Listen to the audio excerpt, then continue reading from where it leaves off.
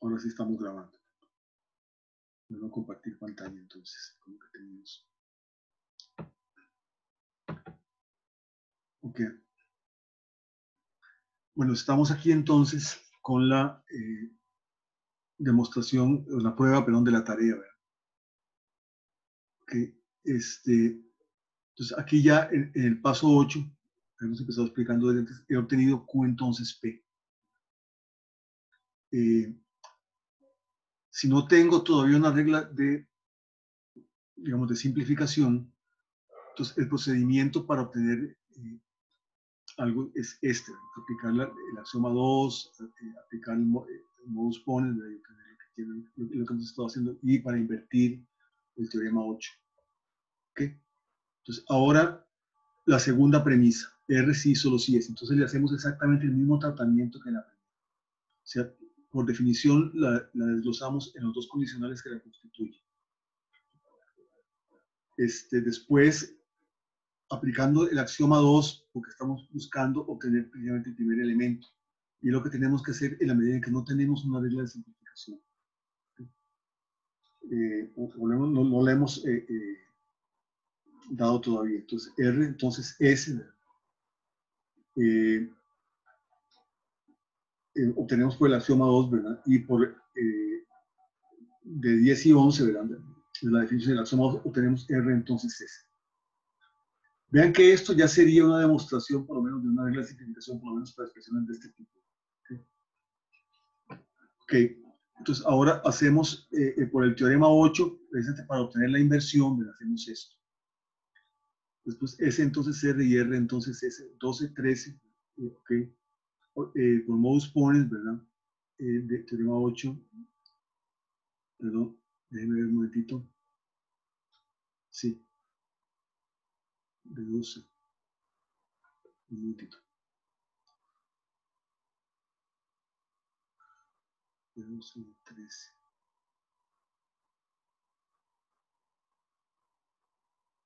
De 10 y de 13 es. 10 y de 13. Okay. De 10, o sea que es este antecedente, y de 13, R entonces S.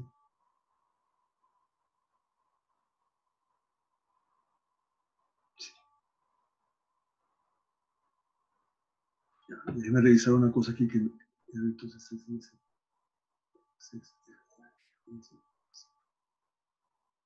es entonces R. Sí, de 10 y de 13, los ponens. ¿Okay? Entonces, eh, ahora, eh,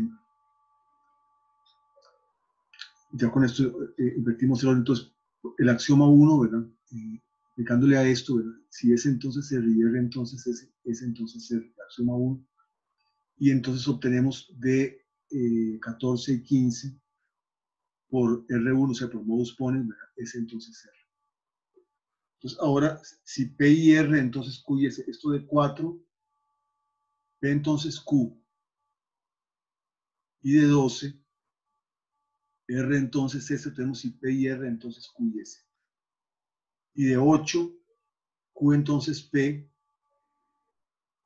y de 16, S entonces R, obtenemos Q y S, entonces P y R pues uniendo por la regla derivada 14, que es la conjunción, estos dos, el 17 y el 18, obtenemos esto y por definición obtenemos esto.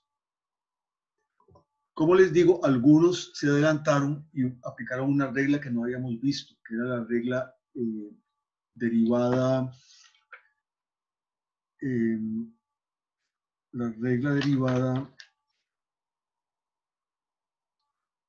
19, y su corolario, que es una regla de simplificación.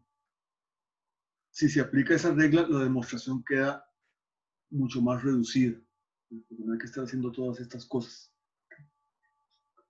Pero digamos, hay una regla que todavía no, no habíamos visto, entonces no la damos por supuesto en la tarea. Si alguien la hizo, pues, pues está bien. pero digamos, eh, esta es la demostración de la regla derivada de ciencias aplicando ya la regla derivada de 19 y su corolario, que son reglas de simplificación.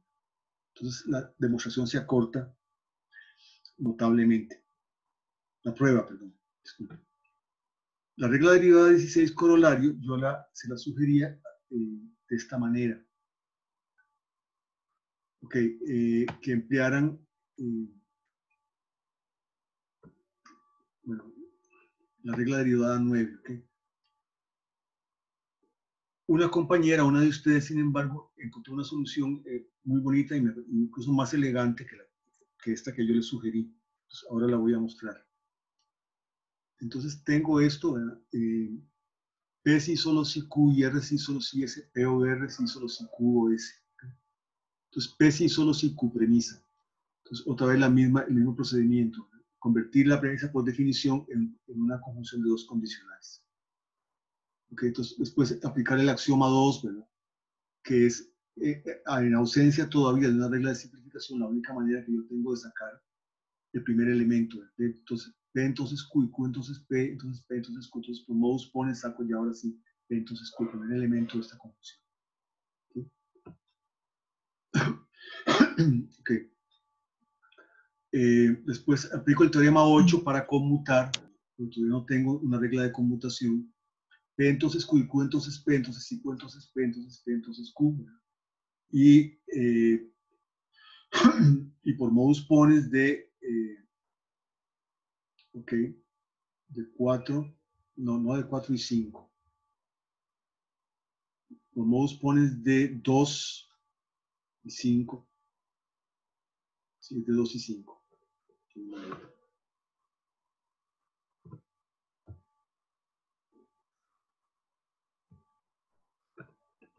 Por modus pones de 2 y 5, por regla 1, obtengo entonces este consecuente.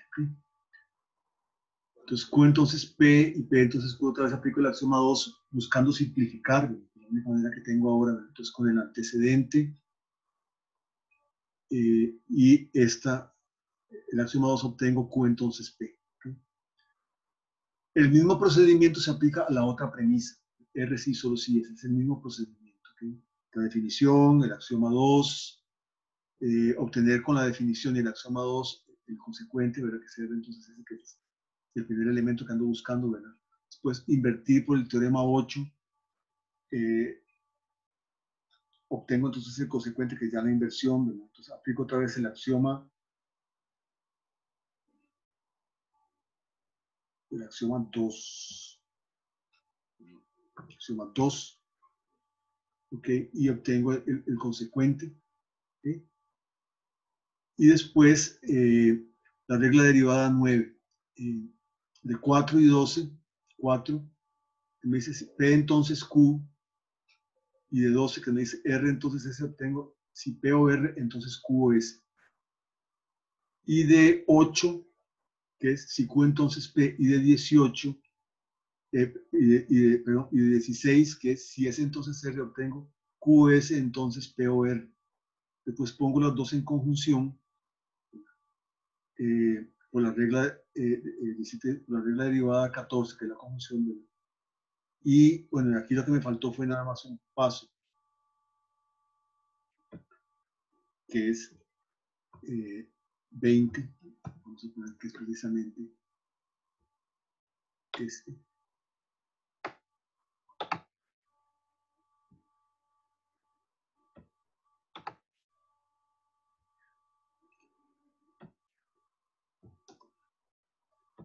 Y este, de 19 por definición. ¿De acuerdo?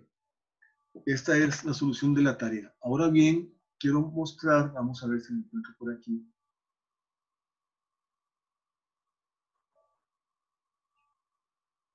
Creo es esta.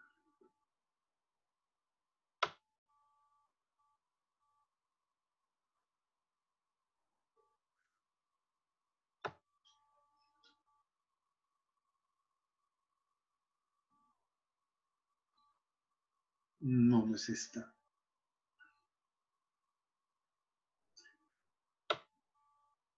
Déjenme ver porque vale la pena verla. No es que esté.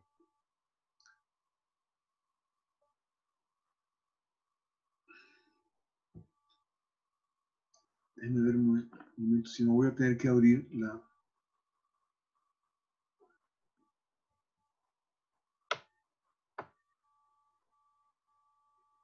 Sí, es, es la tarea precisamente de, Nancy. La tarea de Nancy que resolvió la regla, el color de la regla 16 de una manera más expedita y, por qué no decirlo, más elegante, la manera en como yo la resolví. Ah, pero este, no, estoy compartiendo pantalla, me parece. Sí, disculpen, vamos a ver.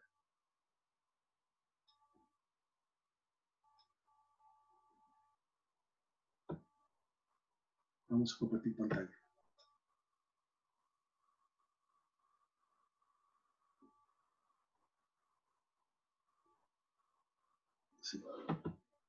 Es esta. Vean. Regla 16 corolario. La solución de Nancy es una solución eh, eh, muy, linda y muy elegante. P si solo si Q, premisa. R si solo si S, premisa 2. Eh, no P si solo si no Q. Esta es la regla derivada 15. ¿Ok? O sea, de, de 1, de, de, P si solo si Q, se sigue que si no P, si solo si no Q. La regla derivada 15. De R si solo si S por la misma regla derivada que se sigue, si no R si solo si no S. Ahora, entonces, en la regla derivada eh, 16, que me dice si P, entonces Q y R, este, aplicar a estas dos cosas, la regla derivada 16, obtenemos, ¿verdad? De 3 y 4, si no P y no R, o sea, si conjunción de los dos antecedentes, entonces, sí, solo sí, perdón, no Q y no S, conjunción de los dos consecuentes. De 3 y 4 por regla derivada 16. Ahora, volvemos a aplicar la regla derivada 15, que me dice que de, digamos, P si solo si Q, se sigue que si no P si solo si no Q. O sea, de, de este bicondicional se sigue el bicondicional que tiene como antecedente y como la, eh, que tiene como primer elemento la negación del antecedente de este y como segundo la negación del consecuente de este otro la aplicación de la regla derivada 15. Y después, por definición, tenemos POR si solo si QS. Una solución eh, mucho más expedita eh, y, por supuesto, digamos, que la que yo, más expedita que la que yo eh, hice y que, ya les, y que la que yo les sugerí que hicieran, que la mayoría de ustedes hizo y está perfecto. Pero esa solución de Nancy es una solución mucho más elegante y más cortita.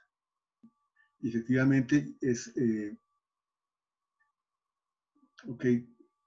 De hecho, es, eh, si es un corolario de la regla derivada 16, aplica la regla derivada 16, cosa que no hizo, que no hice la solución mía. Entonces, pues, felicidades Nancy por esta, eh, solución tan bonita de la tarea. Bueno, ¿alguna consulta sobre la tarea? No las he contestado todas. Eh, hoy ya le respondí a algunos. Este, alguno de ustedes me consultó sobre la aplicación de un metateorema. Ahora este, vamos a ver también eso. Porque ahora vamos a seguir, dejo de compartir entonces esto. Vamos a seguir eh, compartiendo otras cosas. Ok, lo que tenemos que ver a continuación es el, el déjenme ver si lo tengo por aquí.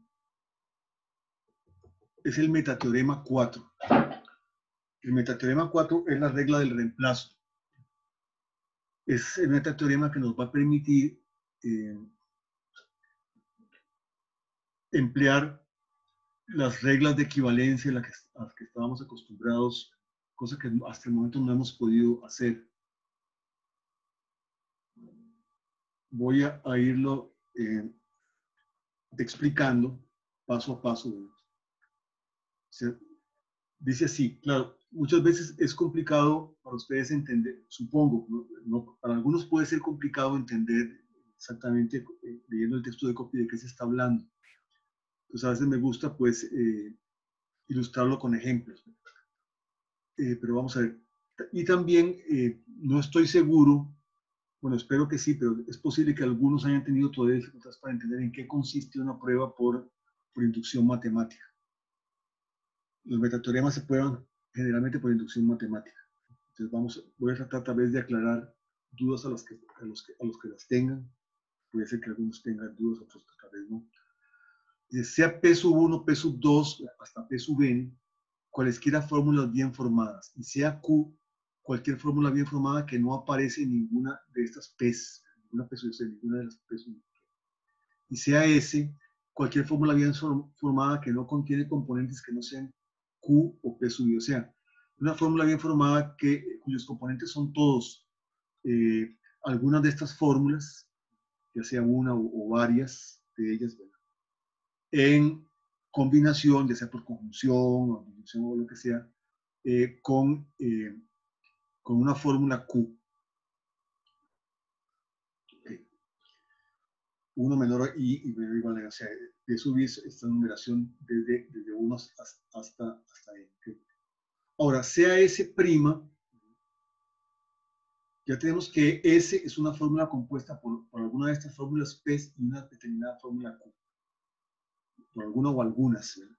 Y S' es una fórmula de formada que resulta de reemplazar cualquier número de ocurrencias de Q en S por R. ¿okay? Eh, entonces, tenemos eh, dos fórmulas bien formadas, eh, ambas con elementos tomados de esta secuencia de, de PES.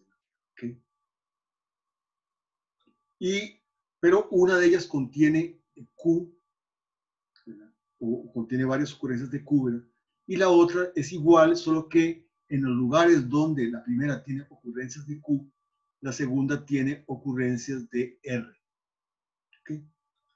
Entonces, si Q sí, solo sí R, de ahí se sigue que S sí, solo sí S'.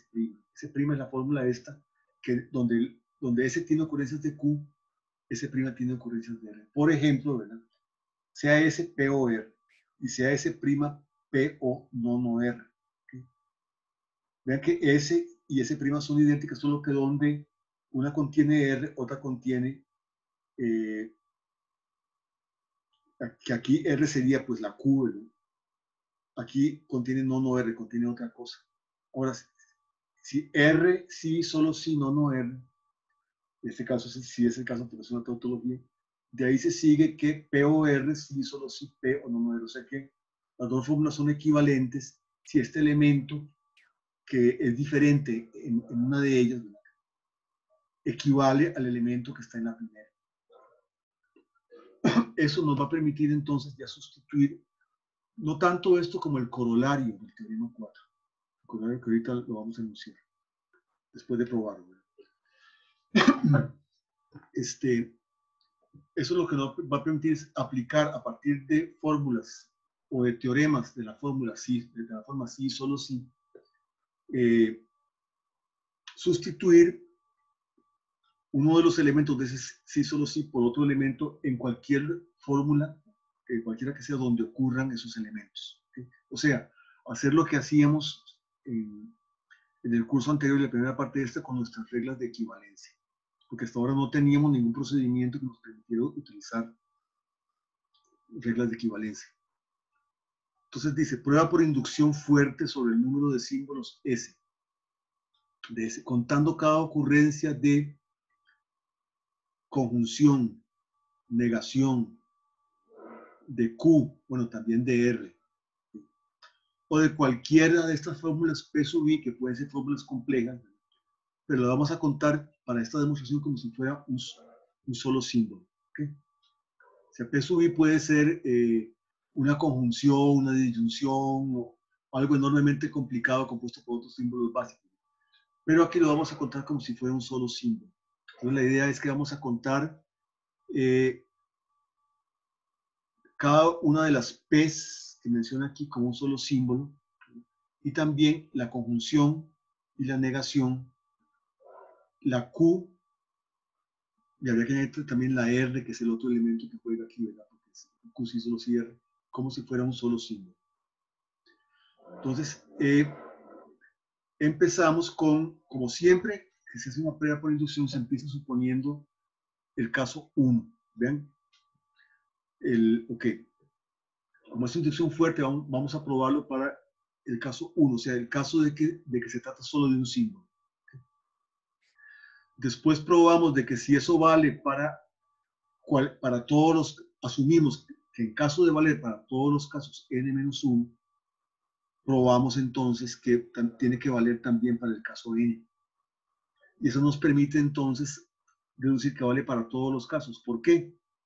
Porque, bueno, porque si n-1 es 1, y hemos probado que si vale para n-1, vale para, para n, entonces n va a ser 2, entonces vale para 2. Pero si n menos 1 es 2, y hemos probado que si vale para n menos 1, vale para todo caso n, entonces va a valer para 3. Y si ahora asumimos que n menos 1 es 3, y hemos probado, como ya hemos ido probando con la aplicación desde 1, que eh, vale para 3, entonces va a valer para n, que va a ser 4. Y así sucesivamente, digámoslo así, al infinito. Ese es lo que está detrás de, pruebas de este tipo. Bueno, veamos entonces eh, qué pasa. Entonces, primero, asumimos que el caso en que tenemos eh, un solo símbolo. Entonces, en el caso que tengamos un solo símbolo, este solo puede ser Q o P sub I, solamente asumiendo que Q, ok. Porque, digamos, los, símbolos nuestros son, eh, las S son combinaciones de, los símbolos llamados P, Y de eh, Q.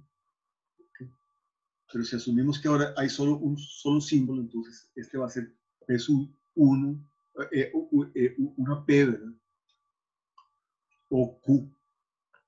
No puede ser conjunción y disyunción porque la conjunción y la disyunción no pueden ir solas, tienen que ir uniendo otras cosas. Entonces tiene que ser necesariamente eh, la Q, la Q esta del o, P. Entonces vamos a ver.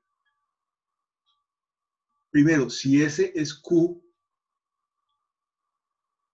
y S' es R, ¿verdad? Entonces, para este caso es obvio, es obvio que como hemos dado por hipótesis que si Q sí solo sí, es obvio que si Q sí solo sí R, ¿verdad? De ahí se sigue que Q sí solo sí R. Y en consecuencia, si Q sí solo sí R, S, S está en este caso compuesto nada más por Q. Porque es, el caso de un solo símbolo. Sí solo sí, S'. S' es la fórmula que en S resulta de la sustitución de Q por R. Pero como en este caso S es solo Q, eh, S' va a ser solo R. Entonces es obvio que si Q sí solo sí R, entonces S sí solo sí S'. ¿Por qué? Porque S es Q y S' es R. Esto se seguiría por el teorema 7. Q sí solo sí R, entonces Q sí solo sí R. La identidad señalada se seguiría por el teorema 7 y por eh, R1. Q sí solo sí R, entonces Q sí solo sí R. Es así que Q sí solo sí R por lo tanto, por modus pone se sigue que Q sí solo sí R. Pero como Q, pero como S es solamente Q y S' es solo R, entonces si Q sí solo sí R, S sí solo sí S'. Entonces, el teorema queda aprobado para el caso de que eh, S conste de un solo símbolo, siendo ese símbolo eh, Q. Pero S puede constar de un solo símbolo también, eh, este, Perdón, sí, sí, ok. De otras maneras, entonces vamos a ver esos otros casos.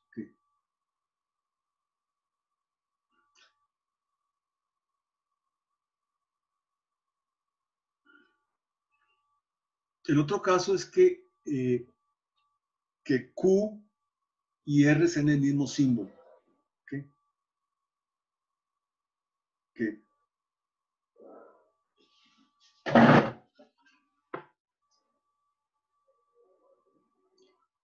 Entonces, eh,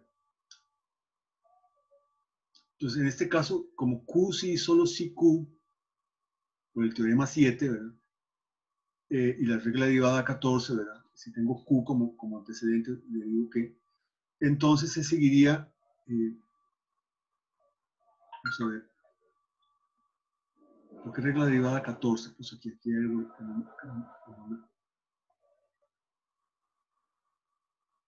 No, la regla que entonces no tiene nada que hacer aquí. Eh, entonces, S sí, solo sí S. Luego, si Q sí, solo sí R, ¿verdad? Es que aquí el 2 más bien es que Q eh, vamos a ver, revisar, teorema 4.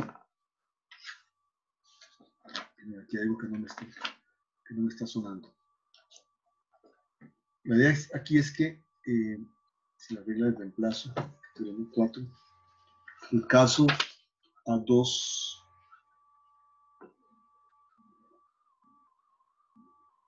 O sea, sí, el caso 2 sería, si ese es Q y ese prima también es Q, que, puesto que Q sí solo sí Q, por el teorema 7 y la regla derivada 14, un momentito.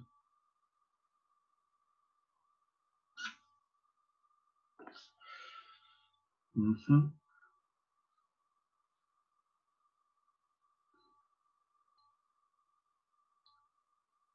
Lo que no veo es que es aquí la regla 14. Ese sí, solo sí ese. Ese sí, solo sí ese prima. Luego, ok.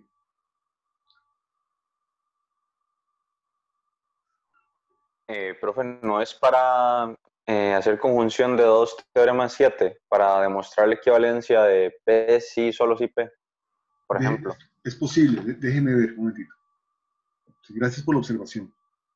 En este momento, sinceramente, me perdí, pero voy a revisar. Si Q y S, que si S es Q y S' es, es Q también, puesto que Q sí, solo sí Q, por el teorema 7 sí, eh, por el teorema 7 regla derivada 14, si Q sí, solo sí Q, se seguiría que ese sí, solo sí ese, pero, pero, porque, porque, Q es, porque eh, eh, Q sí, solo sí Q, se sigue que Q sí, solo sí Q. Nada más por el teorema 7, no veo, pero tal vez eh, explícame otra vez qué es lo que estás viendo, eh, la aplicación de la regla derivada 14, porque para mí, hasta donde lo estoy viendo en cierto, basta solo el teorema 7. Es que, digamos, el teorema 7 es una implicación sencilla lo que dice el teorema 7 es P por ah, no, sí, eh, P, sí, sí, sí, ahora sí te capté, sí, tenés razón, tienes toda la razón, sí, porque tenía que ser Q sí solo si Q y Q sí solo si Q. Ok, pues, pues digamos, tenía que, tenía que poner las dos en conjunción, ok. Este, sí, entonces sí, eso es, sea, bien, gracias. Porque ayer sí lo había visto y me quedaba claro y, de pronto hoy, hoy ya no me quedaba tan claro. Sí, es por eso, exactamente por eso. ¿Por qué? Porque el teorema 7 es Q entonces Q. Entonces, para obtener Q sí solo sí Q, tengo que tener Q entonces Q y Q entonces Q. ¿Ok? Entonces, claro, eh, como Q sí solo sí Q, eh, el teorema 7 la regla a 14, pues está bien, ahora sí. Ese sí solo sí ese, porque ese y Q, ese sí solo sí ese prima, porque tanto ese como ese prima son Q. Luego Q, sí solo sí R, ¿ok? Pero en este caso, eh, R no es otra cosa que la misma Q. Este es un caso, digamos, eh, se sigue que S sí, solo sí, S'. Estamos todavía en el caso de que conste de un solo símbolo. Estamos considerando, consideramos que un caso en que Q, en que ese símbolo es Q, ¿verdad?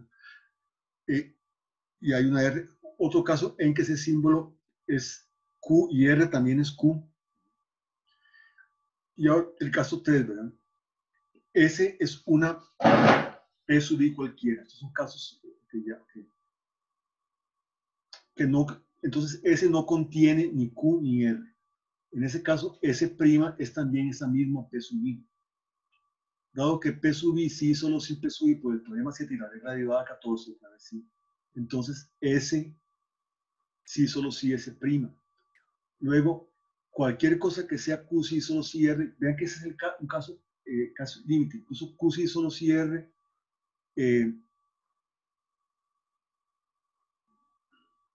bueno, aquí podríamos considerar que Q solo cierre es la misma P sin aunque, aunque eh, también podríamos decir que para cualquier otra cosa que sea Q sí solo cierre, aunque no estén tomando parte ni, Q ni R como componentes de S, que sería este caso, puesto que ese consta solo de una P subida, de ahí se seguiría por el hecho de, que P subir es la misma eh, eh, que tanto S como S' son P sub I, se, diría que S sí, solo si S'.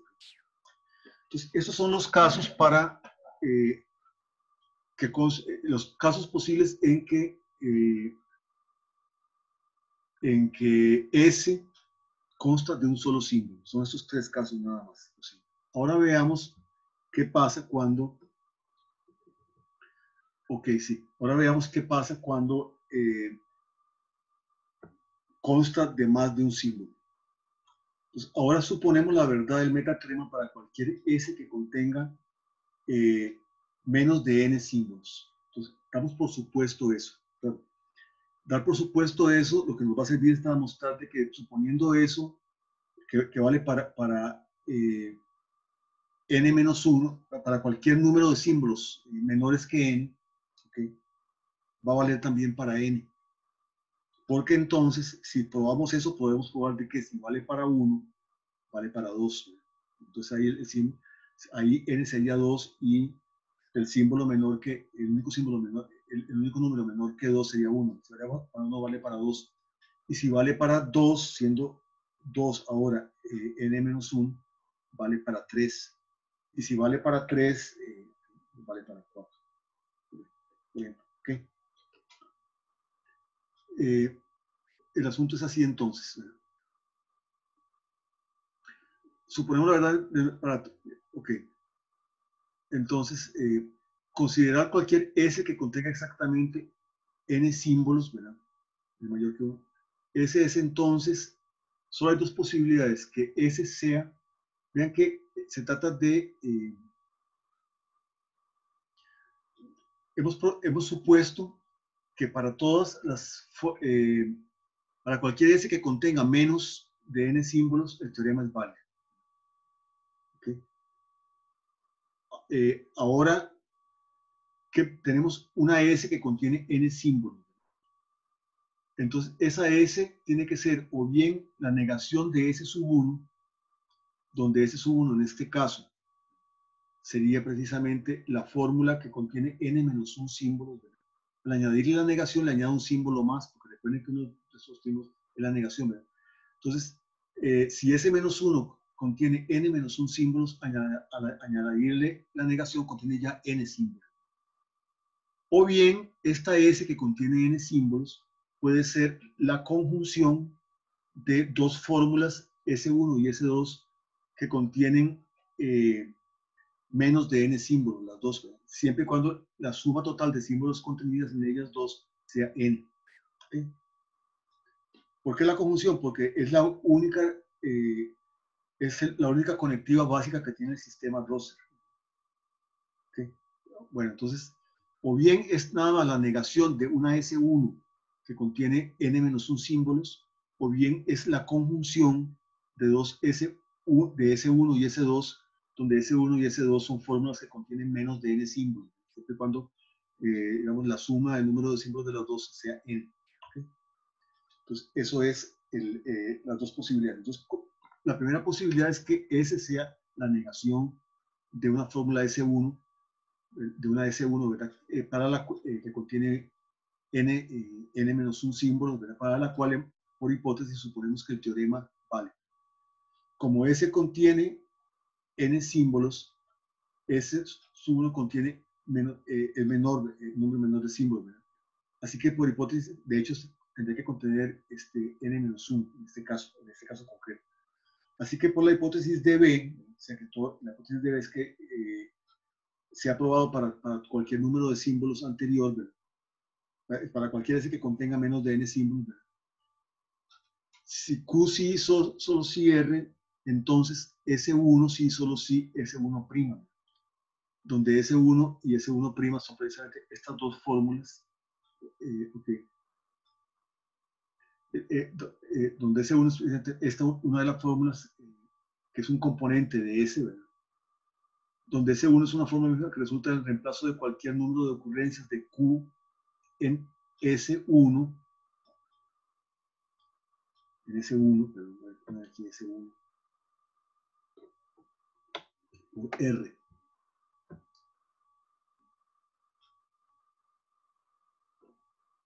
Ok. Pero si S1 sí, solo sí, S1', entonces, por la regla derivada 15, que fue una de las, que, eh, demostramos la vez pasada,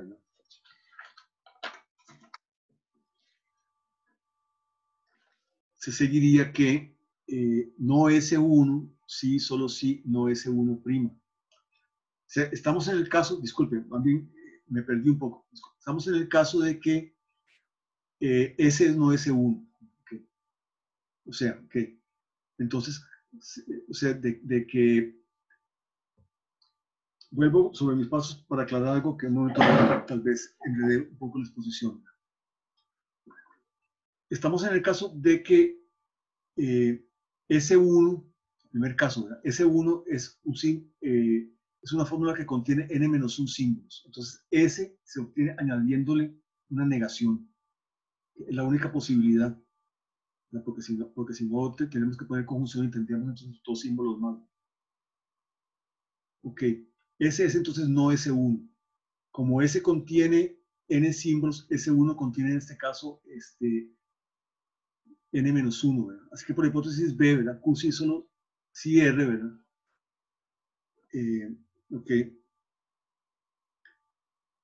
Eh, se sigue que S1 sí solo sí S1 primo donde ese 1' es una fórmula bien formada que resulta del reemplazo de cualquier número de ocurrencias en Q por ese 1, de, Q en ese 1 por R, ¿ok? Pero si ese 1, sí, solo si ese 1', entonces no ese 1 y no ese 1 ya es S, ya le añadimos un símbolo más, sí, solo si no ese 1', por la regla derivada 15, que establece que si, eh, si P sí solo si Q, entonces si, si no P sí solo si no Q. Y como S es no S1 y, eh, y no S1 prima, ok, y ese prima es no S1 prima, y ese prima, es, ese asterisco, disculpe, ya no sé dónde estaba el asterisco. Bueno, no importa ese asterisco es, vamos a copiarlo.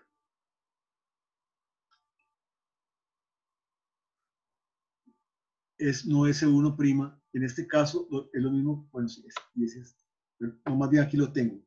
Y ese no 1 prima es en este caso lo mismo que ese asterisco. No S1 asterisco, lo mismo que en este caso ese asterisco. Tenemos que Q sí solo R eh, eh, se sigue que ese sí, solo sí, ese asterisco. Por esto que, se ha dicho aquí. Entonces, vale también para el caso eh, en que ese 1 esté compuesto, en que, perdón, que ese esté compuesto de ese 1, que es una fórmula de n-1 elemento, de n-1 símbolo,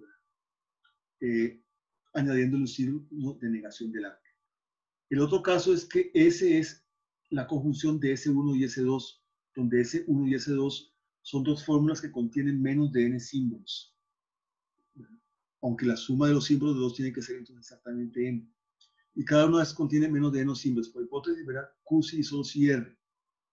Si S1 sí solo si S1', donde S1' es la fórmula donde se ha sustituido Q por R, y Q sí solo si R, entonces, de ese sigue que S2, ok,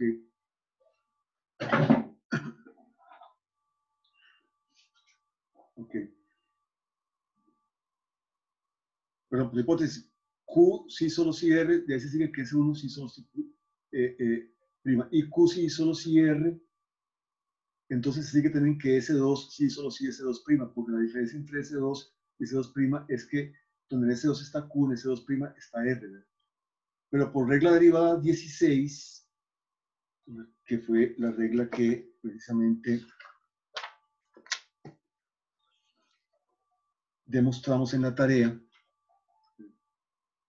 si S1 sí solo si S y S2 sí solo si S2 prima, de ahí se sigue que S1 y S2 sí solo si S1 y S2 prima. Pero S1 y S2 prima es S y S1 y S2 es S. Luego, si Q sí solo si R, S sí solo si S. S sí solo si S'. Entonces, así queda demostrado el metateorema 4. Eh, Ahora, el que nos sirve realmente para eh, hacer la, eh, la sustitución, que es el procedimiento que utilizamos con la regla de diferencia, es el corolario. Si Q, R, S y S' son con el metateorema 4, entonces Q sí solo si R. De Q sí solo si R y de S se sigue S'. Ok. Una cosa muy aquí.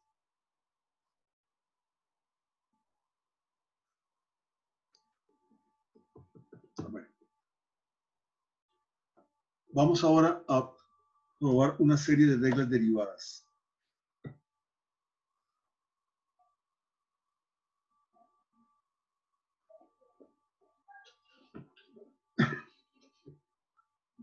Bueno, de hecho, eh, eh, ok.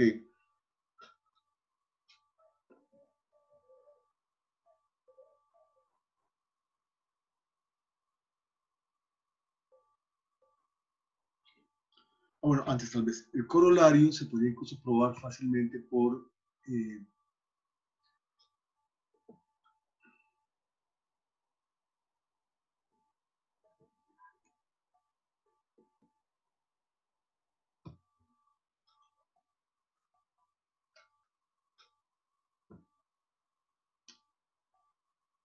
o sea, por, por, por, eh, por el metateorema 3, si yo pongo esto, Vamos a ver. Por el metateorema 3 yo aquí puedo derivar un condicional que diga si R sí, solo si, no, no. Eh, perdón, vamos, ¿dónde está el, la regla de reemplazo? Es esta. Q sí, solo si R, entonces S sí, solo si S'. Entonces de aquí yo puedo derivar un teorema que diga Q sí, solo si R, entonces S sí, solo si S'. Algo así. Y poniendo como antecedente eh, Q si solo si R, derivo, bueno, vamos a ver. si no, lo, hago después. Ahora, lo, dejamos para después. La prueba del metateorema. Voy ahora a demostrar una serie de reglas derivadas.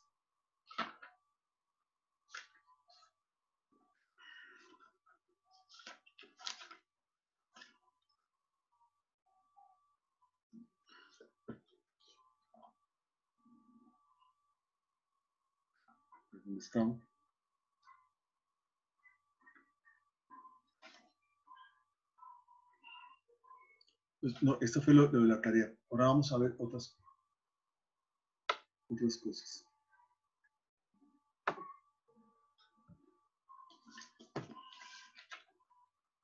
Una vez teniendo el, la regla del reemplazo,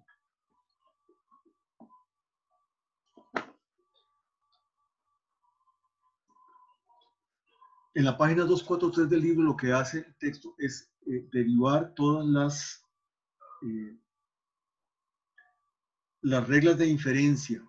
Y eso se hace en la página 243 y 244. Derivar todas las reglas de inferencia y todas las reglas de equivalencia que usábamos en el curso anterior como teoremas del sistema. Este, ya de hecho teníamos eh, la regla primitiva modus ponens, la R1, no hay por lo tanto que deriva nuestra regla básica del sistema. También teníamos la regla del silogismo hipotético, la que era la regla derivada 6.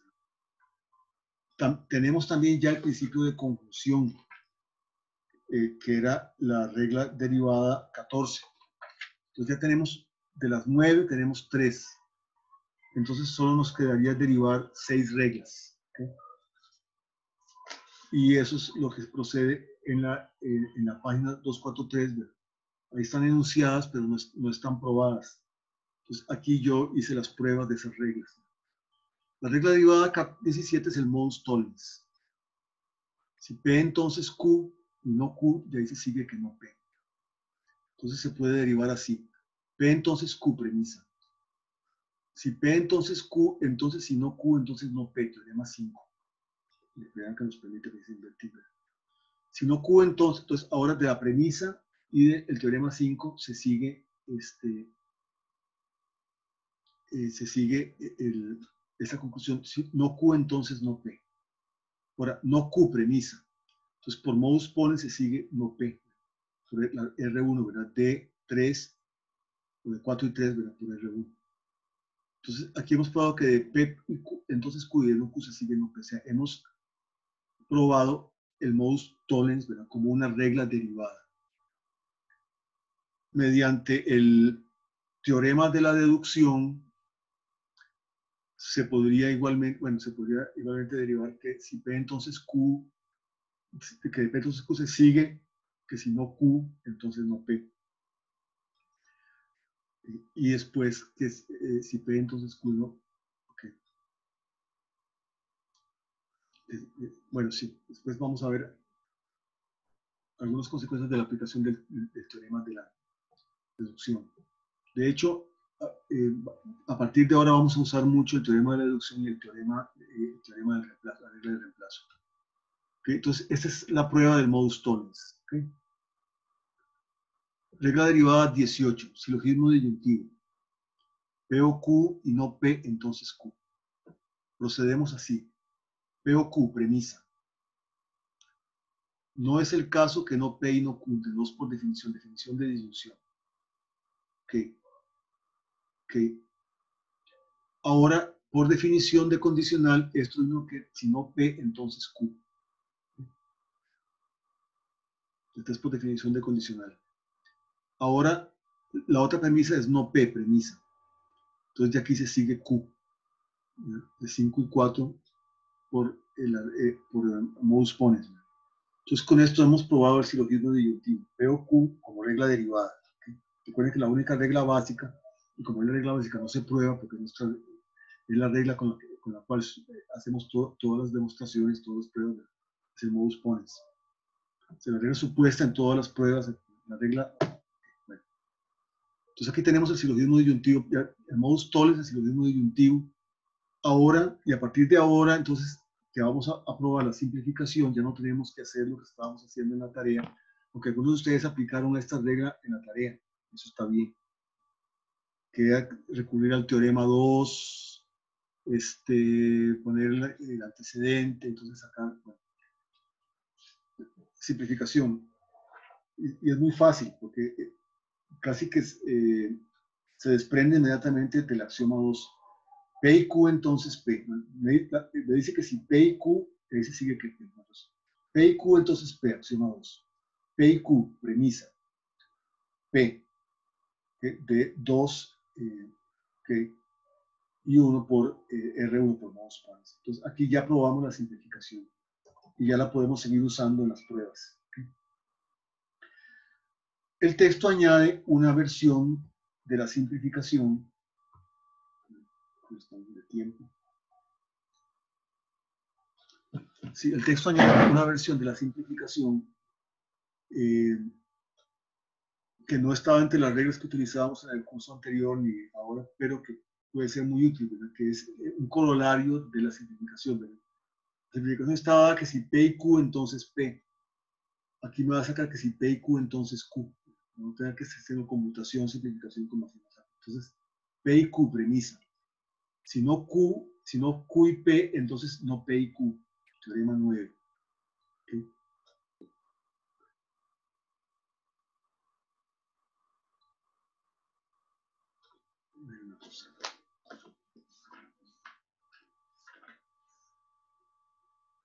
Sí, teorema 9, es el teorema 9. Entonces, si P y Q, entonces eh, Q y P, esto por la regla derivada 2, ¿verdad? Que se me dice, la regla derivada 2, recuerden cuál era. Me decía que si no, eh,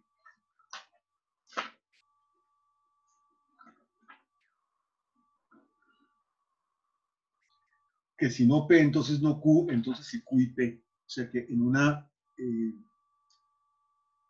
si yo tengo un condicional con los dos elementos negativos, entonces nada más le doy vuelta y tengo precisamente esta otra forma, que es uno de los elementos de transposición, regla derivada, de 2 por regla derivada 2.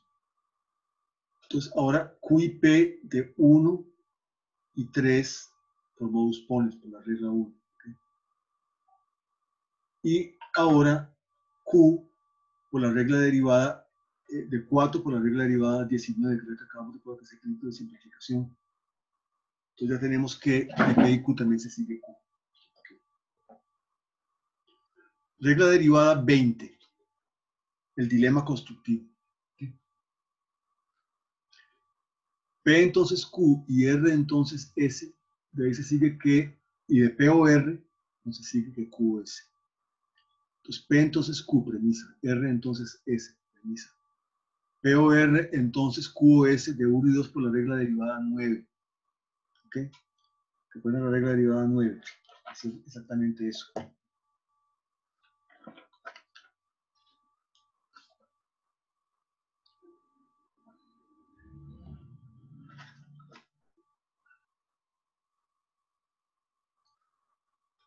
Sí. Ahora, POR, premisa. Entonces, QoS por modus ponens. P entonces QR, entonces S y POR, entonces QoS. Dilema constructivo. Regla derivada 21, dilema destructivo. P entonces Q, premisa. R entonces S, premisa. Si P entonces Q, entonces si no Q, entonces no P. Teorema 5. No Q, entonces no P de, eh, de 1, 1 y 3, perdón. No, 1 y 3 con la regla 1. R entonces S, entonces si no S, entonces no R, también el teorema 5 como tengo R entonces S, entonces tengo no S, entonces no R de 2 y 5 por la regla de modus ponens. Entonces ahora eh, no Q y no S, premisa.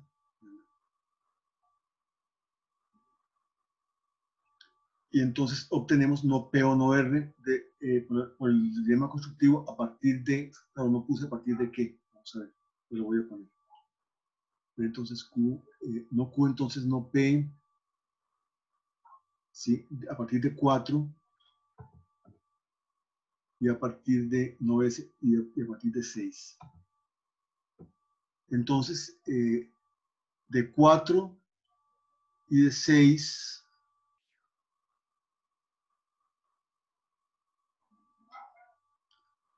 de 4 de 6 y de 7, 4, 6 y de 7. 4, 6, 7. Por dilema constructivo se sigue esta conclusión. Entonces, hemos probado el dilema destructivo, entre otras cosas, acudiendo precisamente a, la regla demostrante del dilema constructivo. Esta es la demostración de la regla derivada 21, que es el dilema destructivo.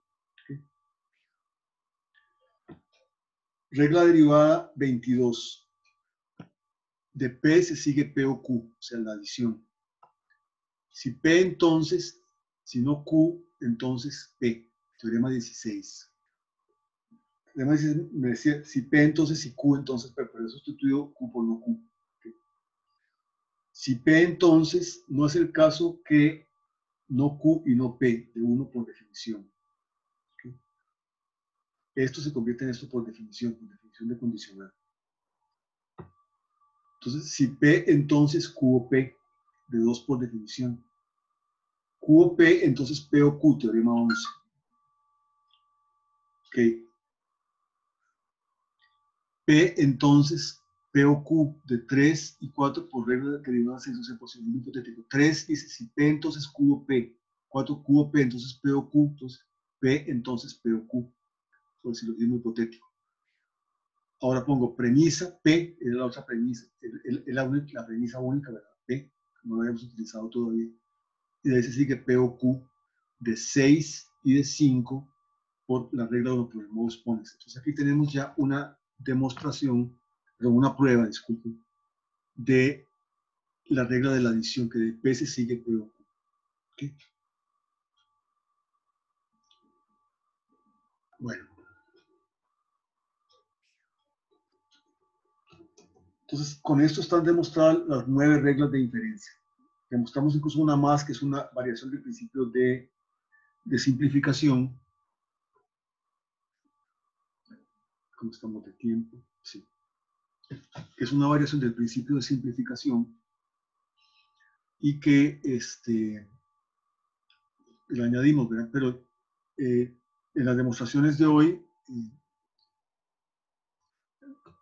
recuerden, ya habíamos demostrado la, eh, la, regla de conjunción,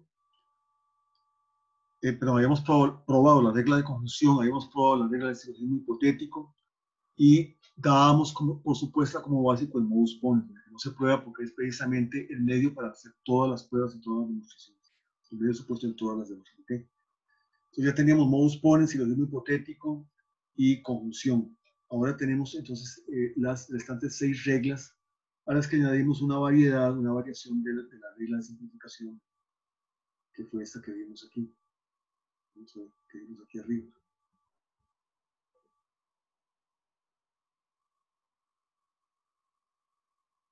Este es el, corolario de, la simplificación. Entonces ya tenemos las nueve reglas de inferencia que usábamos en el curso anterior probadas. Ahora sigue entonces la prueba de las reglas de equivalencia. Tal vez antes de seguir con las reglas de equivalencia quería regresarme a ver una cosa antes. Déjenme ver si lo encuentro por.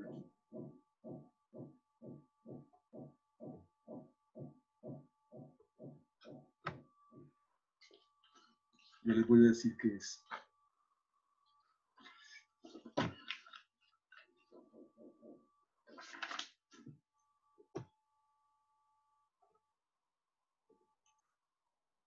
La regla derivada 12, yo había dicho que no la había podido probar. Aquí tengo una prueba, pero que recurre precisamente al metateorema 14, la regla del reemplazo. El, teorema del reemplazo, la regla del reemplazo, el metateorema, 4 ha sido, en el texto aparece después de la regla derivada 12. Sin embargo, en su prueba no entra para nada la regla derivada 12. Entonces, eh, el utilizar el teorema del reemplazo aquí, en la prueba de la regla derivada 12, este, no afecta en la medida en que no incurrimos en una prueba circular, porque digamos la regla derivada 12 no es un supuesto en la prueba de la, de la, regla del reemplazo del metateorema 4. Entonces, me permití, eh, claro, vean, cualquier prueba donde yo recurra a un metateorema, eh, indica, igual que cualquier prueba que yo recurra a teoremas o reglas derivadas, indica que debe haber estrictamente una demostración que sin recurrir a ningún metateorema, ningún teorema por solo modus ponens, pueda derivar las reglas desde los axiomas. Incluso, eh, aunque se recurra a metateoremas que pueden hacer que las demostraciones sean mucho más simples, ¿okay?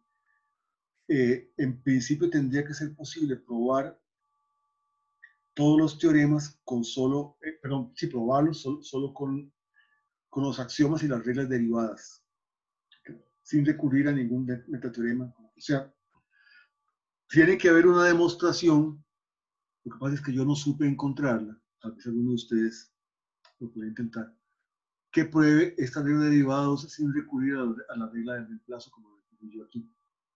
Puede ser que sea mucho más larga, puede ser que sea incluso enormemente larga, o puede ser que sea incluso más simple, pero no supe verla. Por ejemplo, en el caso de la tarea, una de ustedes, una compañera, Nancy, demostró el, corolario del teorema 16 por un método mucho más expedito que el que yo había pensado. Eso es perfectamente posible. Bueno, veamos la regla derivada 12 muy rápidamente. Entonces, el teorema P, eh, P entonces no Q entonces de P se sigue que no es el caso que Q y R. Bueno, esto, esto no tiene que ver, esto es un, apunte mío que Entonces, no P o no Q, entonces, no P o no Q, no R, teorema 17 corolario. O sea, aquí eh, eh, es un el teorema 17 corolario nada más que puse no P o no Q, buscando precisamente obtener algo que equivaliera a si P entonces Q, que es no P o no Q. Entonces aquí eh, por definición, convierto esto en, estas cosas. No es el caso que no no P y no no Q, entonces, eh, no P o no Q no R por definición. No es el caso que no P, no P y no Q, entonces no P o no Q o no R por definición. Aquí lo que hice fue, eh, por definición, ¿verdad? Convertir esto en tres partes. Primero, esta disyunción lo convertí en esto por definición y convertí después esto en un condicional también por definición. Entonces, ahora P entonces no Q premisa. No no P entonces P teorema 2. No no P entonces Q.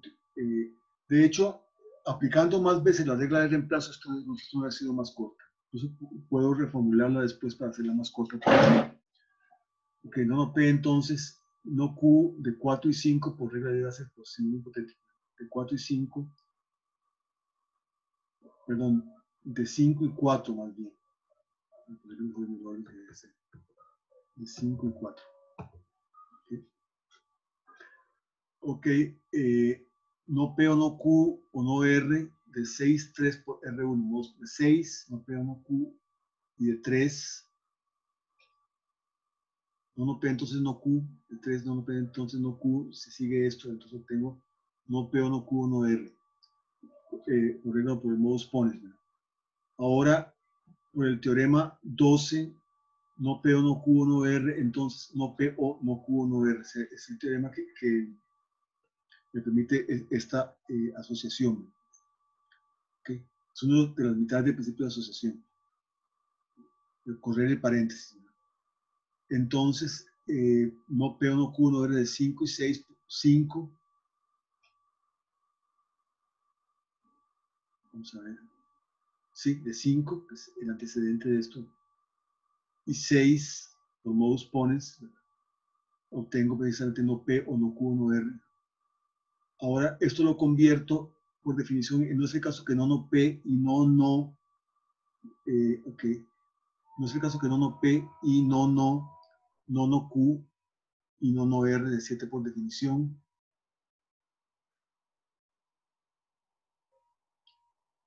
Ok. Porque no, uno solo signo de negación, ¿verdad? Este, ese primer signo de negación, ¿verdad? Eh, y la conjunción de estas dobles negaciones me da, es lo que me da no Q o no R. Pero ahora, como esto está en disyunción con esto, tengo que añadir una negación delante y una negación delante también del no P y una negación delante de todo para obtener la fórmula que equivale a esto. Esta es la fórmula que equivale a esto, que equivale por, por definición. Entonces, ahora esto lo convierto también por definición en un condicional no no P, entonces no es el caso que no no Q y no no R, de 8 por definición. Eh, es que entonces P entonces no no P, teorema 4. Entonces P entonces no es el caso que no no Q y no no R. Teorema 19. Aquí estoy cerca y entonces aquí es donde recurro a la regla de reemplazo. Q sí, solo si, no, no Q. Teorema 19. R sí, solo si, no, no R. Teorema 19. Entonces P, si P es decir que P entonces no Q y no R. O sea, es sustituido donde ocurre no no Q, lo sustituido por Q. Donde ocurre no no R, lo sustituido por R. Entonces tengo P entonces no Q y R. De 11, 12, 13 por el teorema 4, regla de reemplazo. Esa sería entonces una prueba aplicando la regla de reemplazo. El teorema 4. Entonces hay que, bueno, Estoy tratando el corolario, señor. Está bien, Vamos a ver ahora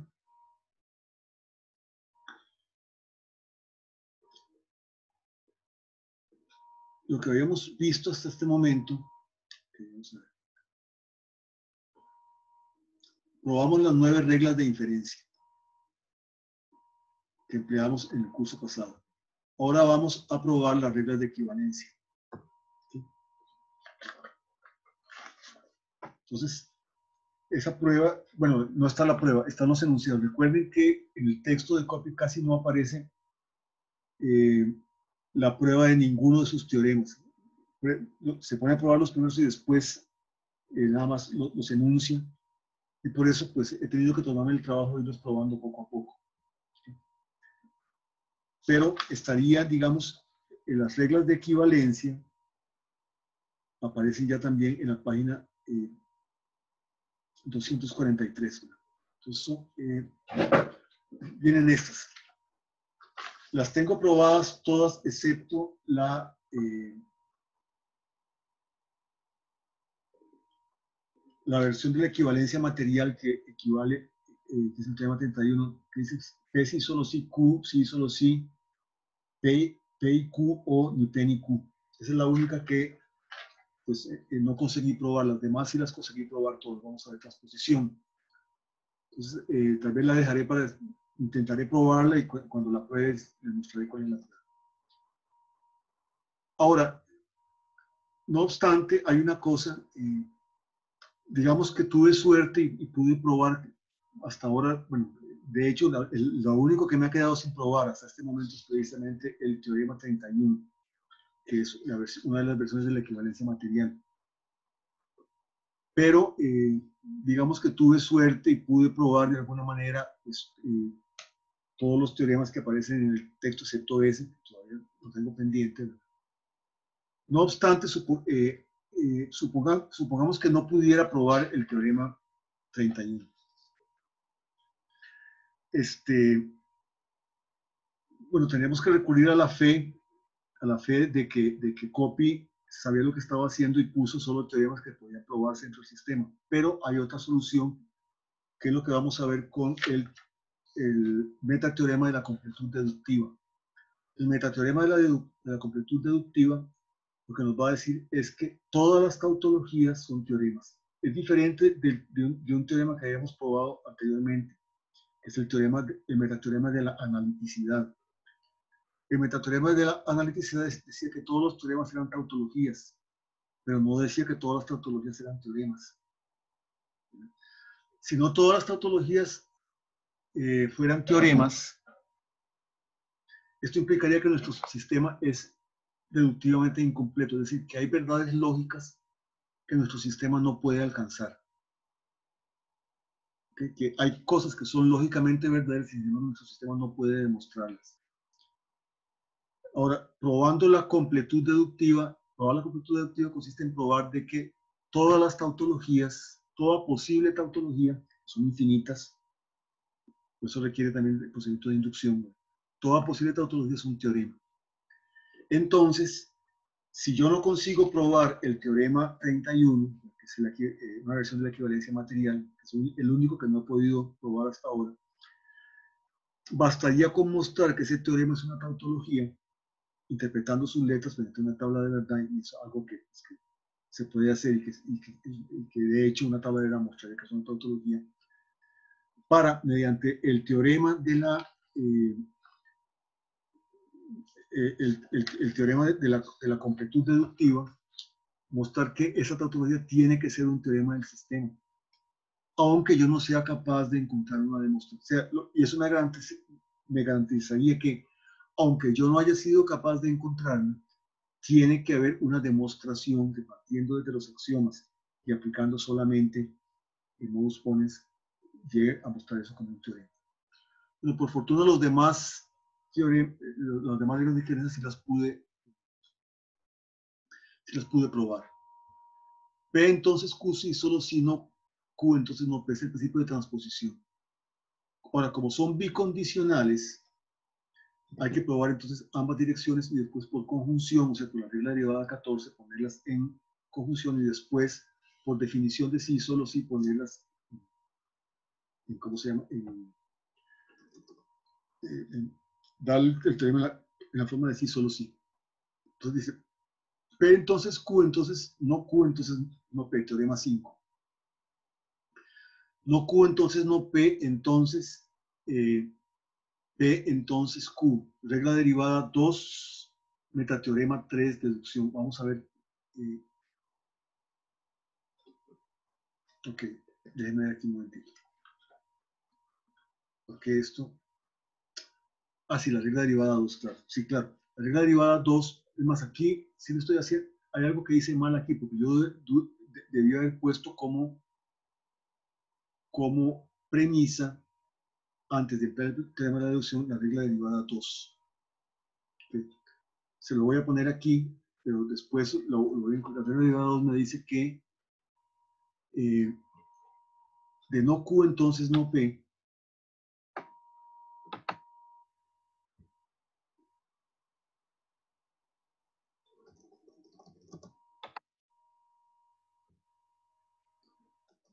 se sigue que P, que, si P entonces Q. Ahora, el metateorema de la deducción me dice que esta premisa, sobre todo el corolario, yo la puedo pasar aquí y obtener este condicional. Eh, o sea, obtener si no Q, entonces no P, entonces si P, entonces Q. Que, la premisa la puedo pasar de este lado y, eh, obtener entonces el condicional. Si, no Q, entonces no P, entonces si P, entonces Q. Eso solo en virtud de la, de la, eh, del teorema de la deducción, el metateorema 3. Dicho sea de paso, el metateorema 3 es el que está también en la base de la prueba condicional. Porque, eh, ¿qué hacemos cuando queremos probar cuando queremos probar una conclusión en forma de condicional, mostrar de que poniendo la premisa, poniendo el antecedente de la conclusión como una premisa más, de ahí se seguía el consecuente. Y entonces el metateorema 3 lo que me dice es que esa última premisa yo la puedo pasar al otro lado, digamos al lado de la conclusión, verá como antecedente de un condicional. Entonces, el fundamento de la prueba condicional estaría en el metateorema de la deducción. Ok, entonces aquí lo que eh, en realidad se, se, seguiría no solo, eh, se seguiría de la regla derivada 2, ¿verdad? Yo tendría que haberla puesto tal vez aquí como una premisa en la regla derivada 2. Por el metateorema de la deducción tendríamos esto. Ahora, P entonces Q, entonces no Q, si no Q, entonces no P. Y si no Q, entonces no P, entonces P, entonces Q. Lo que puse fue en, en conjunción estas dos cosas. Y por definición me da que si P entonces Q sí, solo sí, si no Q entonces no P. Es por definición. Teorema 25, la regla de exportación.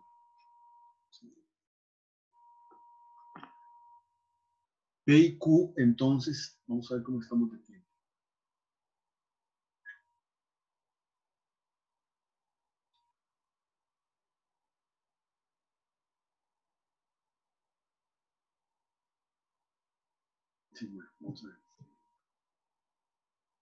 P y Q, entonces R, sí, solo sí, si P, entonces si Q, entonces R. Y lo que tengo es el principio de exportación. Entonces P y Q, entonces R, entonces si P, entonces ese es el teorema 14.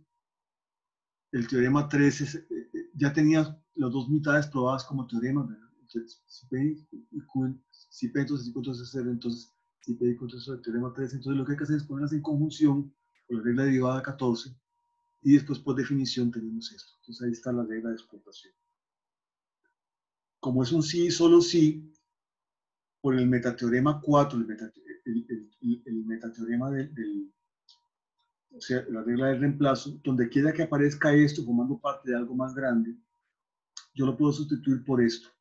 O sea, funcionaría, ya podemos usarlas como reglas, como usábamos las reglas de equivalencia. La tautología, la regla de tautología, tenía dos, dos, dos cláusulas, aquí están probadas las dos. P, eh, si P, P sí, solo si P y P. Entonces, P, entonces P y P, axioma 1. P y P, entonces P, axioma 2. Poniendo en lugar de Q la misma P, lo cual se puede hacer. Entonces P, entonces P y P y P y P, entonces P, 1 y 2 por regla derivada 14, conclusión. Entonces P sí, solo si P, 3 por definición. Entonces ahí tengo ya una de las mitades de la tautología.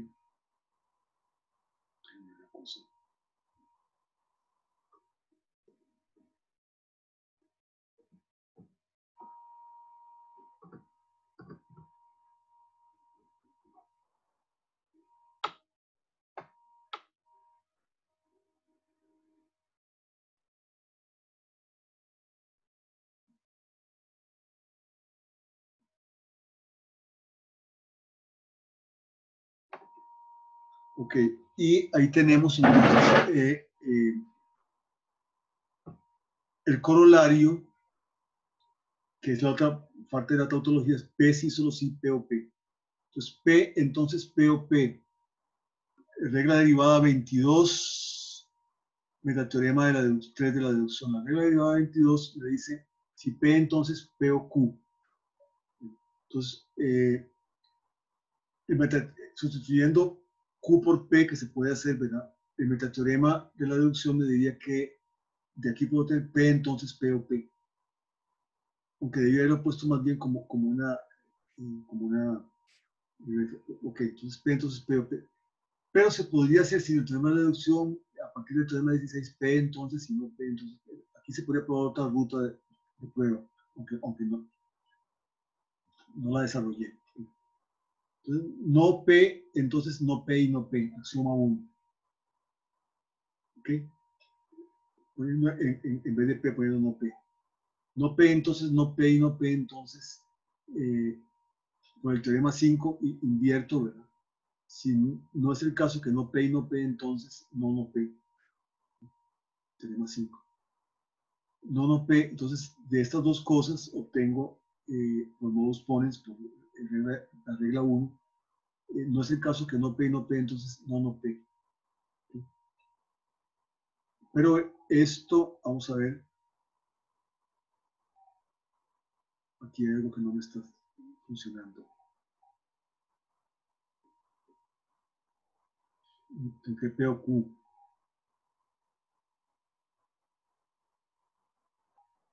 Estoy probando otra cosa. P o P tiene que ser aquí.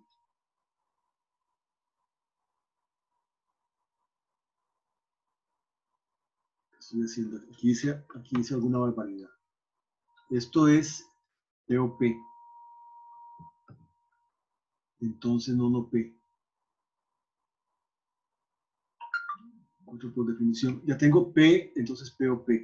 No tengo P o P, entonces no no, P, entonces P. Eh, sí, entonces POP, entonces P. Y ya está. Eh, de 5 y 6 por regla derivada 6, eh, o sea, es muy hipotético, y ahora entonces ya puedo poner 8. No estaba completa esta, esta, prueba. Puedo poner 8 como eh, la conjunción de esto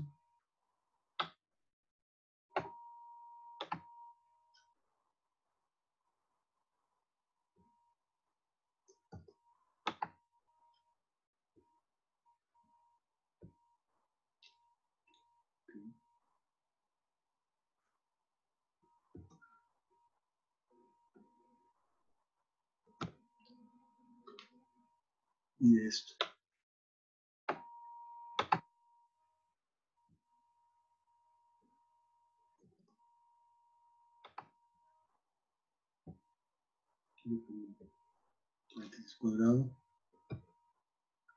Aquí.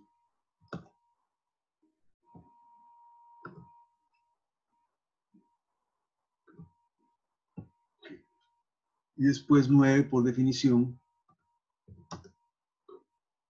poner esto.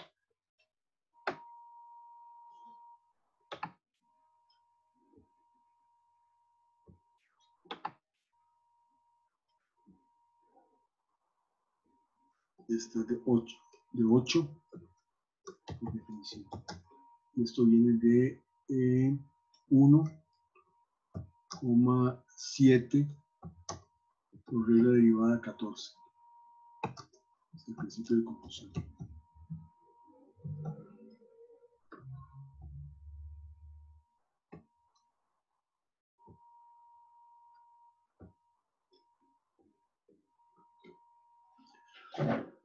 Bueno, este.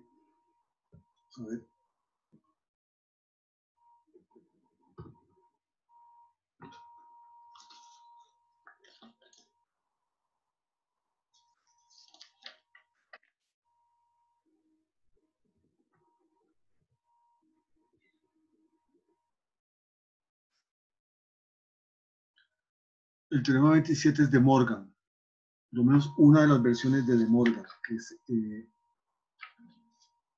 la negación de una conjunción equivale a una disminución de las negaciones. La otra mitad es que. Entonces procedemos de esta manera.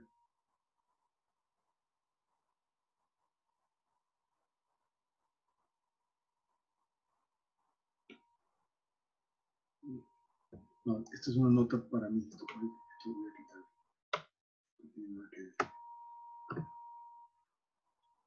No P y Q, si solo si no P o no Q, de Morgan. Entonces pongo no P y Q, entonces y Q, entonces no P. Este es el teorema 3.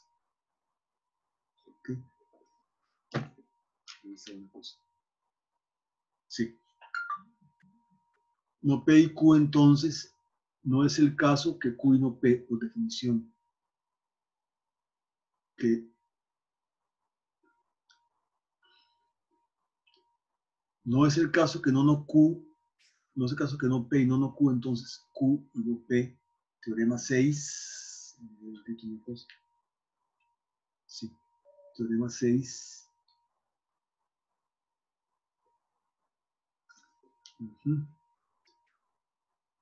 Ahora, no, no, no P y no, no Q, entonces Q y no P, entonces, por, el teorema 5 le doy vuelta a esto aquí. Teorema 5, vamos a ver. Y entonces obtengo esta conclusión, este elemento como conclusión por modus ponens por R1, por la regla 1. No Q, entonces, no P, entonces no es el caso que no P y no, no Q. ¿Ok? Está ahí eso. Y ahora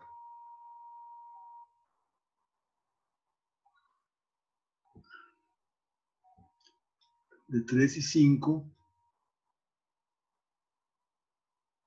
de 3, una cosa.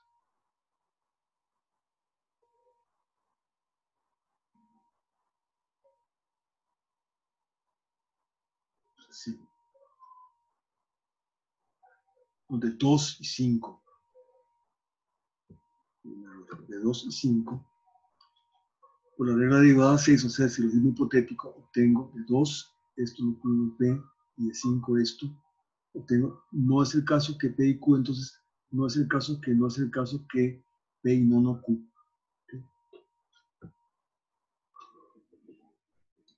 Este, después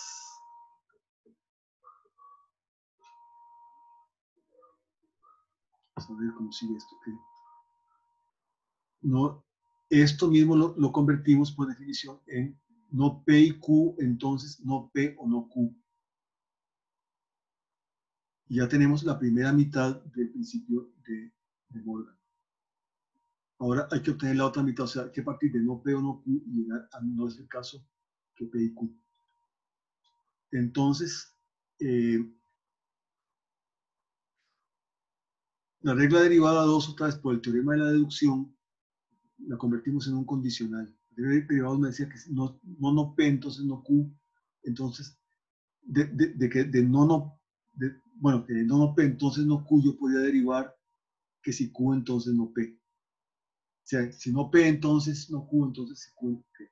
Entonces, ahora la convertimos en un condicional por el teorema de la deducción, el teorema 3. No es el caso eh, aquí por definición convierto esto en esto por definición, entonces esto que, esto por definición, y después esto también por definición se convierte en esto, y tenemos esto aquí.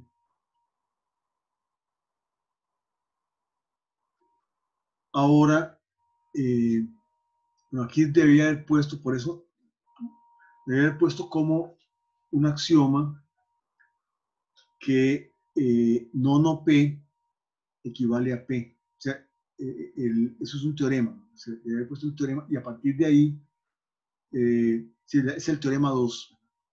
Del teorema 2 y el metateorema 4, regla de reemplazo, yo puedo reemplazar no no P por P. Porque no no P equivale a P. Y entonces obtengo no P o no Q, entonces no, es el caso de Q y P no P y Q, entonces no P o no Q. Entonces ahora pongo en conjunción los dos elementos que había conquistado. Este es uno y este es otro. Los pongo en conjunción por la regla derivada 14 y por definición obtengo, no es el caso que P y Q, si solo si no P o no Q. Lo sé por definición. Y este es entonces el, la otra mitad del teorema de De Morgan.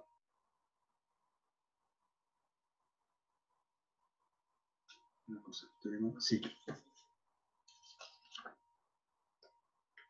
No, ese, sí, bueno, ese, ese, es el teorema de De Morgan. El otro, la, otra parte del teorema de De Morgan es el teorema 28, también es de Morgan. Pero eh, sobre la negación de una disyunción, eh, eh, sí, solo sí, la conjunción de las negaciones.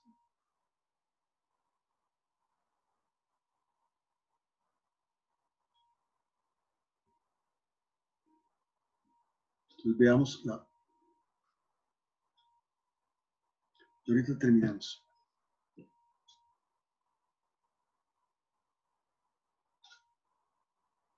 Tendría esta forma. No P o Q, sí, solo sí, no P no Q. Eh, entonces, no, eh, ok. Ok, entonces parto de aquí. No es el caso que no es el caso que no P y no Q, entonces no P y no Q, teorema 2. La negación de una negación, de una negación equivale a la afirmación. Entonces, tengo no P o Q. Esto, eh, con esta negación interna y esto, lo que obtengo es una dilución. Y esto, esta negación me queda delante de la dilución. No P o Q, entonces, no P y no Q, uno por definición.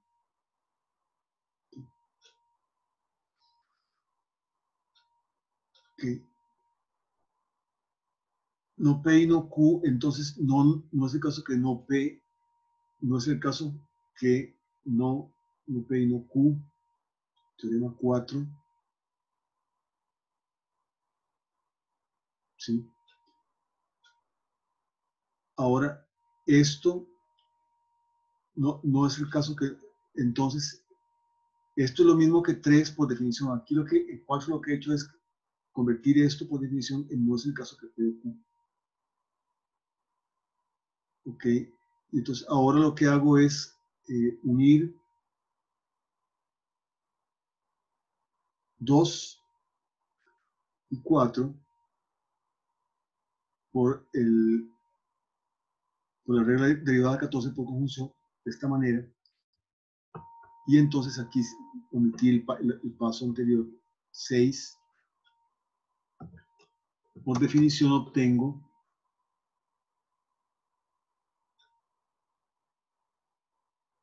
esto.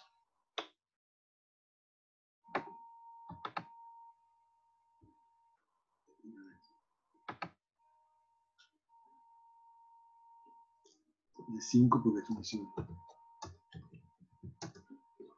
Y aquí entonces tengo la demostración de la otra cláusula de, las reglas de De Morgan.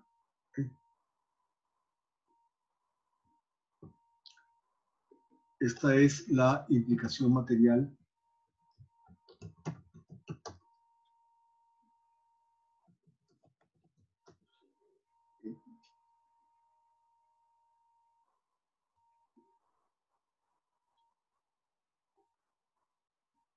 Y ahí ven ustedes la demostración.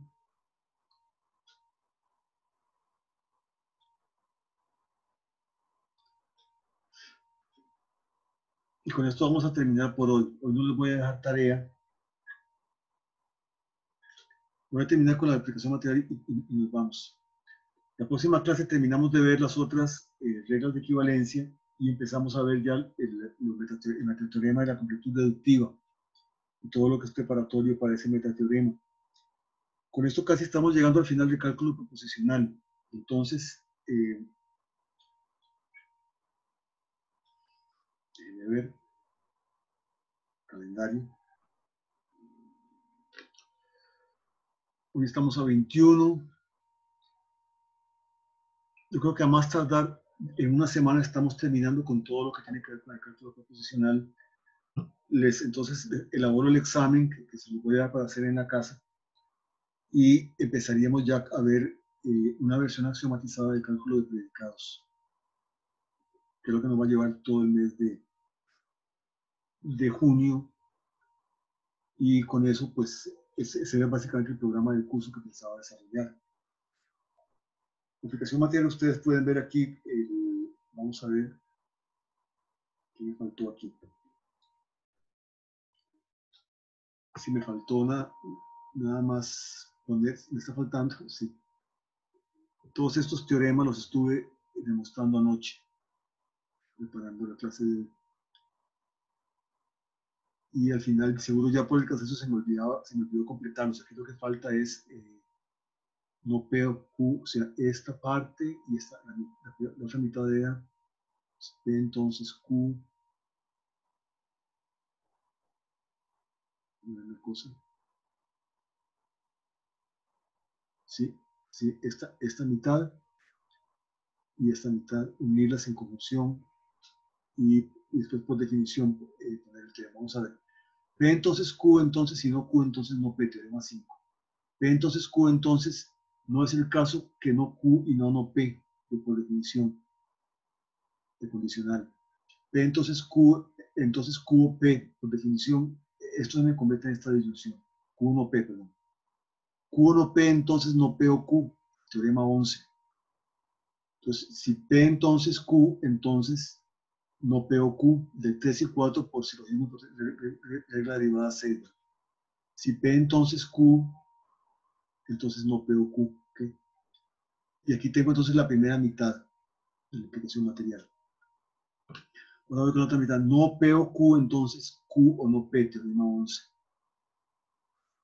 No P o Q, entonces no es el caso que no, es el caso que no Q y no no P, por definición de disyunción. No P Q entonces, esto se me convierte en un condicional, si no Q entonces no P. Por definición. Ahora, si no Q entonces no P, entonces si P entonces Q, regla derivada 2, pero por el metateorema 3 de la deducción, la regla derivada 2 me si Q entonces no P, de ahí se sigue que si P entonces Q. Eso lo he convertido en un condicional por el metateorema 3 de la deducción. Y entonces ahora me sigue 10. Si no P o Q, entonces si P, entonces Q de 8 y 9 por regla derivada 6, es decir, es hipotético. Y me falta nada más poner 11. La conjunción de esto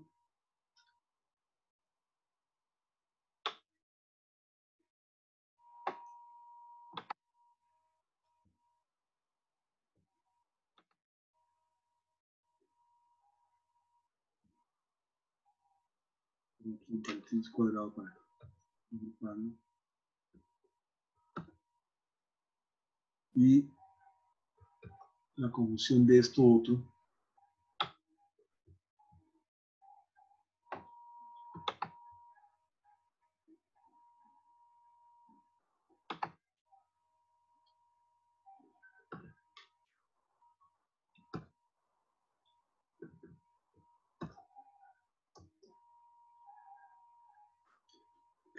Y eh, digo, esto viene de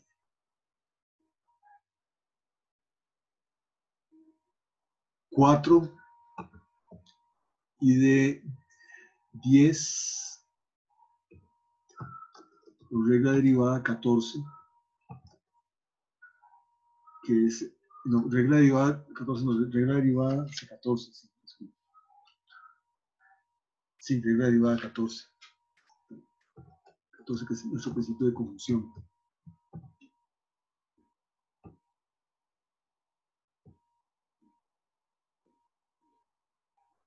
Y 12, finalmente, vamos a poner en negrita.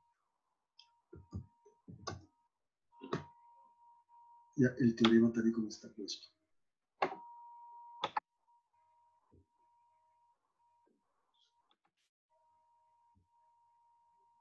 Ahí tenemos, eh, eso viene de 11 por definición, la definición de bicondicional.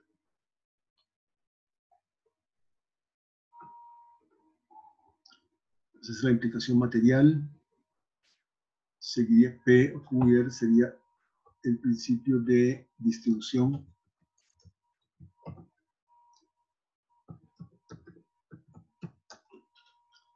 Es el teorema 30. El teorema 30 sí está demostrado en el libro al final. Todos los que tienen un asterisco, en realidad son muy pocos, pero todos los que tienen un asterisco está demostrado en el libro al final. Bueno, vamos a terminar aquí por hoy. Nos queda entonces el, el nos quedaría ver la demostración del 30 les quedó debiendo la del 31 que no pude, no encontré cómo demostrarlo. Y finalmente la demostración del 32. Con lo cual tendríamos entonces eh, las 19 reglas que empleamos en el curso anterior, pues eh, probadas como teorema, con la única deuda que tengo pendientes, que es el teorema 31, que es el principio de equivalencia material. Voy a ver si se me ocurre algo sobre cómo probarlo, como vamos a ver. Bueno, este, no les voy a dejar tarea esta vez. Si hay alguna duda o alguna consulta, si no terminamos aquí por hoy, yo voy a tratar de que antes del lunes voy a revisar eh, el material que empleamos hoy. Eh, quiero hacer un par de, arreglos, algunas cosas, y eh, antes del lunes se los estoy enviando como un documento para que, para que tenga precisamente las, también las demostraciones que hicimos la vez pasada. Entonces, eso sería. Y si no hay más, podemos terminar aquí por hoy. No sé Profe, hace una corta pregunta. Eh, ¿Usted entregaría el examen y cuánto tiempo, cuántos días habría para resolverlo, digamos? Les puedo dar, si les parece, les puedo dar hasta 15 días. Una semana. Ah, sí, bastante tiempo, o sea, no hay problema. Yo se los entrego, vamos a ver, se los entregaría el, el 28 de mayo. ¿Ok? Y entonces tendrían hasta el, hasta el 11 de junio para, para entregarlo. ¿Está bien? Perfecto. Y ustedes pueden consultarse entre ustedes y todo, entonces no hay problema. Me gustó mucho, no he visto todas las tareas, pero viendo las tareas me gusta que, que la mayoría pues puede resolverlas. Y me gusta ver que de vez en cuando también hay personas que encuentran caminos interesantes y novedosos. Entonces, terminamos aquí por hoy y nos vemos el próximo lunes. Hasta luego, entonces. Bueno, gracias, profe. Bueno, profe, muchísimas gracias. Hasta la próxima. Adiós.